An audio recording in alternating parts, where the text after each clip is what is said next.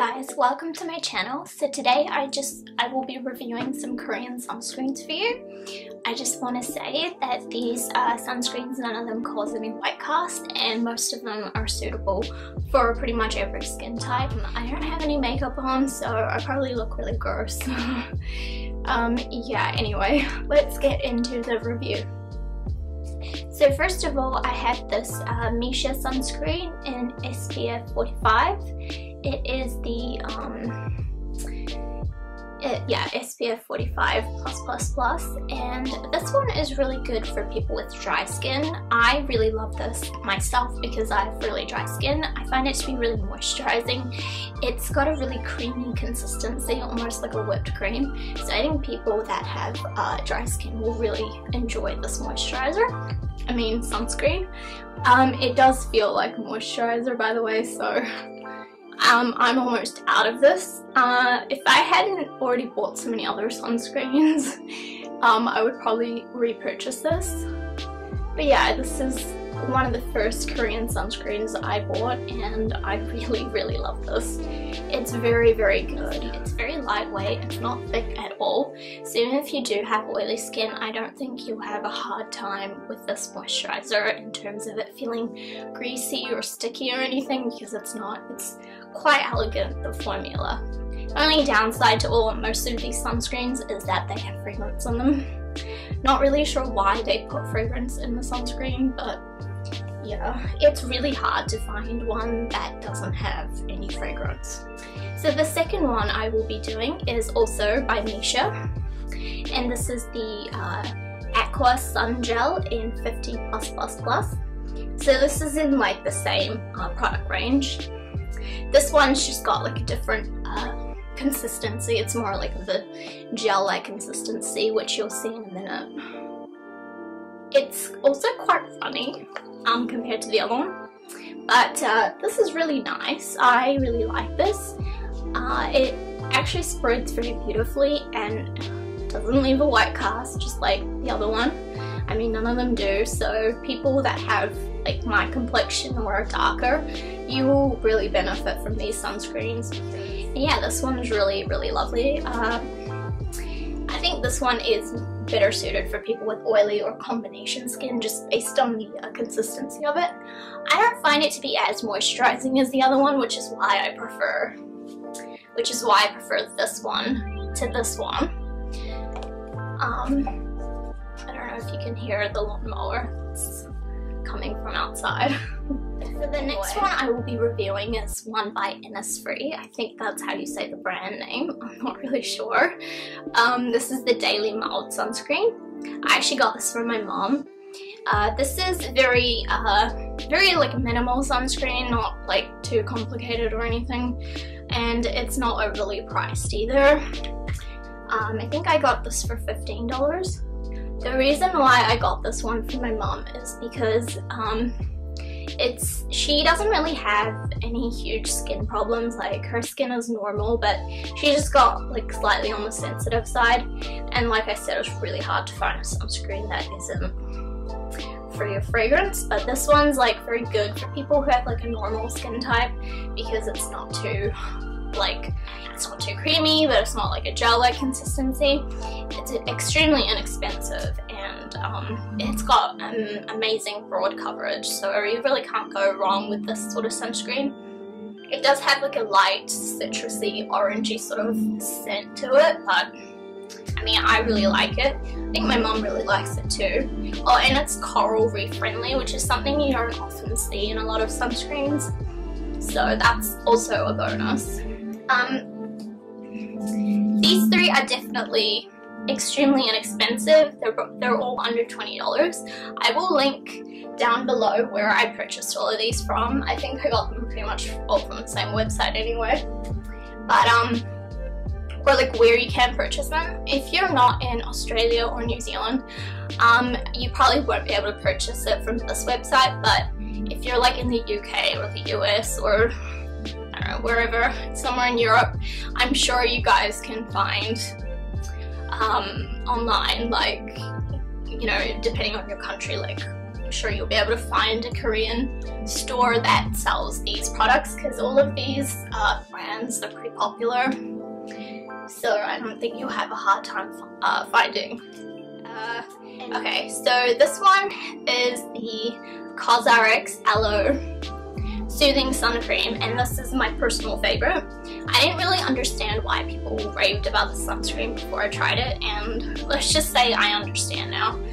Um, it looks tiny but honestly it a little bit goes a long way like most of these. Uh, I just got some on my knee. um, this one is extremely moisturizing. It is much thicker. This is probably the thickest cream out of all of the ones that I will be reviewing. But in saying that, it's not like so thick like uh, it's not like as thick as like the Nivea cream for example. It's not like that thick. This is so moisturizing and so hydrating. It's got aloe in it, so that's really, really good for soothing skin. So if you have like uh, skin that gets burnt easily, you know, you will really benefit from the sunscreen. And if you have dry skin, you will really appreciate this moisturizer and I wouldn't be surprised if this ended up being your favorite as well. And the um, aloe smell in it is really nice as well.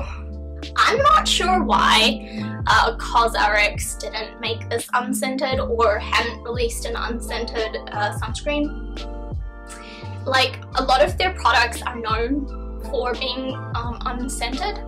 So I'm not sure why they decided to put um, fragrance in their sunscreens but um, yeah. And again the, the only downside I can really say to all of these sunscreens is that they have fragrance in them apart from one and um, other than that I really can't complain. Um, I have enjoyed using all of these sunscreens and apart from like two of them most of them are under $20 or at least under $25 and that's very affordable. Um, so this next one here is the Dr. Jart Every Sun Day and this this is one of my favorite sunscreens um, to use on my body. I love the consistency of this. It is so hydrating and I'm almost finished with this bottle so that's really unfortunate. But oh my gosh guys, this is amazing. And I really wish they made this in like a 300 or 500 ml bottle because I would use this and I would happily pay more money for a bigger size. This is the nicest sunscreen I've applied on my body. I don't like it as much on my face for some reason. I think I prefer like a creamier sunscreen on my face just because I'm used to using very moisturizing creamy sort of creams, creamy creams. what? Um, yeah, but anyway, it's like it's like a sun milk uh, texture. It's very runny like milk is. Uh, that's what that looks like. And it spreads on beautifully wow, it's just, oh my god, it feels really nice. I'm very surprised that this one is not more popular. I tried to look for a review for this online on YouTube and I couldn't find it when I was trying to decide whether or not to buy it. In the end, I just kind of went for it and I'm so glad I did. So yeah, that's this one. This sunscreen would suit any skin type. Dry, because it's a very hydrating combination, oily, and if you can tolerate fragrance for your sensitive skin, then yes, for you as well. I don't know about people with eczema or rosacea, like I don't, I would just avoid anything with fragrance if you have those problems because it's just not worth it. Um, yeah, and I do actually have some sunscreens that are fragrance free. They're not Korean, but they are fragrance free, so I will definitely do a review on them because I think that it's important for every sort of skin type and skin condition to have some sort of options, and if you're not aware of them, then you won't know. And I didn't know these things till I watched reviews and did my own research, so I think you know, I would like to include every sort of category of skin type and skin concern if I can, just based on the products that I have purchased myself. So high, uh, the highest UV uh, protection that you can get, and plus plus plus is just like broad spectrum. So yeah, this I just have no complaints about it and other than that I wish the fact that they made a bigger bottle and also it's such a cute little bottle. um, the next one is again a Missha brand. It's called Missha Essence. Um, this is in a different product range to the first two I did. The consistency of this is very similar to the Dr. Jart one. It's very milky, very runny. It's probably why they call it sun milk, I'm assuming. Very high protection, 50 SPF+++, um, so that's really good. I think this uh, one as well, it just, it spreads on really nicely. It's very thin. You just don't really feel like you're wearing a sunscreen to be honest. I mean, you don't really for any of them, but these two light ones especially, you just don't. Um, yeah, and I think uh, it has a slight dewy finish, not shiny, just like slight dewy. It's not like so obvious, but you'll notice it because you've put it on. Um, none of these have like a matte finish or anything, but in saying that, they are not greasy at all, so I wouldn't worry about that. Um, this one I think is probably best suited for people with uh, either combination skin or oily skin. Uh, just not really dry skin because it's not hydrating or moisturizing per se, but I mean, in saying that, there's no downside to wearing this for people with dry skin. If you have a good moisturizer on underneath, you'll be fine. It's just at the end of the day, it's like what you prefer, you know? If you want your sunscreen to be slightly creamier, then go for that. If you want it to be sort of runny and gel-like, go for that. Like, there's a lot of options in Korean skincare and sunscreen. they have so many it's like honestly at the end of the day as long as you have a sunscreen on it's better than having no sunscreen on so yeah there's that one i'm doing the Purito centella green unscented they also have a scented uh, version of this so yeah this is the unscented version i was talking about now the reason why I left it till last minute is because recently Purito has come under scrutiny for falsely advertising the SPF level. Um, I don't really know what the deal around that is. So apparently they're not actually 50 um, SPF, it's more like 20 or something. I don't really know how legit this is or whatever, but in terms of a sunscreen, the consistency of this is nice. It has no fragrance, which is a bonus. It's basically suited for every skin type, and it has centella in it, which is very healing, very soothing for the skin.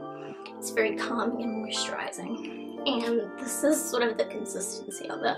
It's really an all-round sunscreen. I don't think any skin would be at a disadvantage from using this. And it's it would be unfortunate if the SPF was not as high as it claims, but in saying that, it's not like it doesn't have any either. So yeah, this one would be probably the best for people who can't tolerate fragrances. I really like it. I don't have any complaints with it. I have no qualms with this brand, so I mean, for me, it's just like, you know, but it is unfortunate when brands falsely advertise something claiming to be something they're not, but let's be honest, it wouldn't be the first time that they did that, and probably won't be the last. Um, many brands in the past have done this, and I'm sure it's nothing new, so that's just what I'll say on that, it. But like I said, I have no problems with the sunscreen. As you see, it has no white cast. Oh, and I forgot to mention, none of these sunscreen cause any sort of pilling, so they're fine to use under makeup if you want. And also, if you want to reapply throughout the day, it's pretty, um, it's not a problem either. It doesn't feel like tacky or anything. They're really elegant formulations, I think, and I do enjoy using all of them. I seem to have developed some sort of collection. I never thought I would be the type of person who would get excited about buying sunscreens. And I really hope this helps people that have like brown complexion or darker because for us it's really hard to find a sunscreen. Like a lot of products are not catered towards people of like with skin of color. It's catered up to like white people and that's really unfortunate. So I think it's really great, you know, that there are these uh, sunscreens available for people that have color or pigment in their skin and um, I think Korean sunscreen is the way to go personally. There's just more choice, more options, uh, really, really reasonable prices. Um, this is probably the only most expensive one I would say at $39. I think this one was $27 but all of the other ones are under 25 or 25 or below so that's really cool. Um, I hope this, um, I hope you found this review helpful and uh, thank you for watching. Uh, yeah, so